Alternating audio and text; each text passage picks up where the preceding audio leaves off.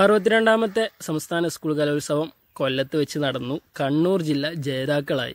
എന്നാൽ ഈ സംസ്ഥാന കലോത്സവത്തിൽ മത്സരാർത്ഥികൾക്ക് മാറ്റുരക്കാൻ കഴിവ് മാത്രം മതിയോ? പോരാ എന്നതാണ് ഈ ന്യൂസ് പറയുന്നത് കേട്ടോ.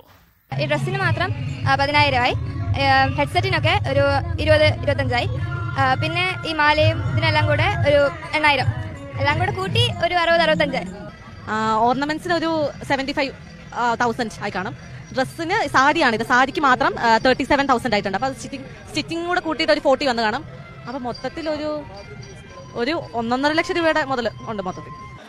ഇതിനൊരു മുപ്പത് മുപ്പത്തയ്യായിരം. ഇത് തോട ആറായിരം. മുപ്പതിനായിരം മുതൽ അങ്ങോട്ട് രണ്ട് ലക്ഷം രണ്ടര ലക്ഷം വരെയാണ് ഓരോ മത്സരാർത്ഥികളും സ്റ്റേജിൽ കയറി പരിപാടി അവതരിപ്പിക്കണം എന്നുണ്ടെങ്കിൽ അവിടെ കോസ്റ്റ്യൂമിനും ഓർഗ്യുമെന്റ്സിനും വേണ്ട ചെലവ്. അപ്പൊ ഈ സംസ്ഥാന കലോത്സവത്തിൽ മാറ്റുരച്ച എല്ലാ പ്രതിഭകളും പൈസക്കാര മക്കളാണോ? ഏ കായ്ക്കാര മക്കളാണോ? ദരിദ്രരായ ഒരുപാട് കഴിവുള്ള പാവപ്പെട്ട കുട്ടികൾക്ക് മറ്റൊരു കലോത്സവം നടത്തേണ്ട ആവശ്യമുണ്ടോ? ഉണ്ട് എന്നുള്ളതാണ് ഈ വാർത്ത സൂചിപ്പിക്കുന്നതിലെ. എന്തായാലും ഇതിനൊക്കെ ഒരു മാറ്റം വരേണ്ടതുണ്ട്. എല്ലാവർക്കും തുല്യമായിട്ട് ചെയ്യാൻ കഴിയുന്ന രൂപത്തിൽ ചെലവുകൾ നമ്മുടെ സംസ്ഥാന കലോത്സവങ്ങളും ജില്ലാ കലോത്സവങ്ങളും മറ്റുള്ള പരിപാടികളൊക്കെ മാറ്റി തീർക്കേണ്ടതുണ്ട്.